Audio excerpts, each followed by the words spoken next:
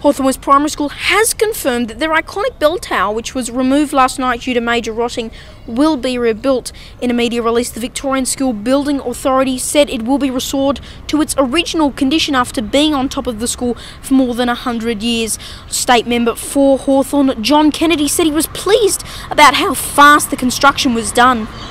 Yeah, I am really. Uh, I mean, it's a, it's a lovely school, and of course, it's it's got plenty of um, history attached to it. You know, with the um, you know the uh, Hawthorn West Honor Avenue and what have you, and um, it's a great little place, uh, as you would know because you went there, sort of thing. It's a lovely community, and that tower is, is so much like a symbol, isn't it, of of the of the uh, of its history, really.